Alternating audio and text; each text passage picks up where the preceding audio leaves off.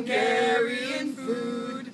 We have a goulash, it is very good. Or if you wish a dish that's Chinese, somewhere on our website there's lobster Cantonese.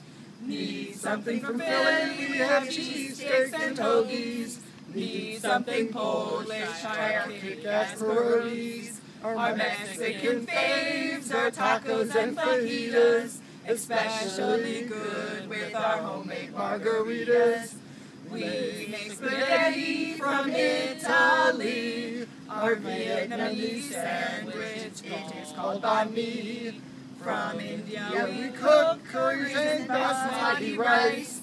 Our German specialty is bratwurst, it is very nice. So you see we make food from each and every land. Each one delicious, each one simply grand. Mix them all up in one big mishmash. And what have you got? Hungarian goulash.